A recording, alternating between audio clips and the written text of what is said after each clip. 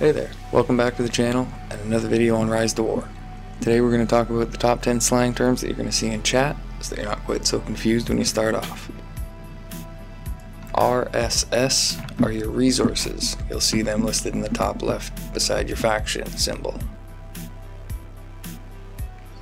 Reset is when the server resets each day or the tavern resets each day.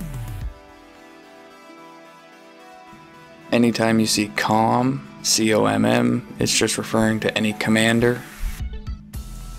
FF refers to a fellowship fortress or a warband fortress. They're essentially the same thing, just for good or evil.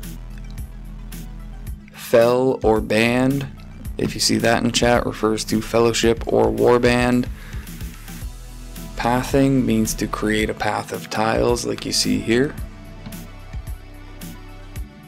A pather is just any commander being used to create paths or go pathing. DEF generally refers to the defenders on a tile or a structure that need to be taken down before siege damage can be done. Siege is the amount of damage that needs to be done to a tile or a structure in order to take control of it once the defenders have been taken out. And whenever you see R being used in reference to commanders, it always refers to the respect level. Since skills are tied to the respect level, um, R1, 3, and 5 kind of denote the different skills available to different commanders.